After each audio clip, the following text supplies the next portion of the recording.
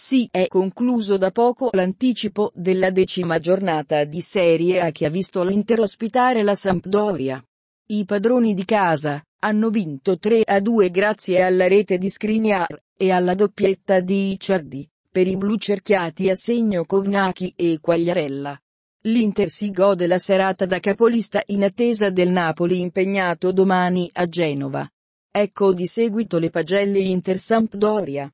Andanovic voto 5 maggio 2 punti. Incolpevole sul secondo goal, qualche responsabilità in più sul primis non è costretto agli straordinari. D'Ambrosio voto 6. Colpevole insieme ad Andanovic sul primo.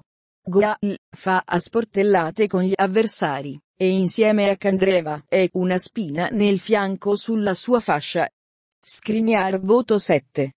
Altra prova monumentale per il difensore che va a segno anche contro la sua ex Samp. Pilastro difensiva e pericolo sui calci da fermo.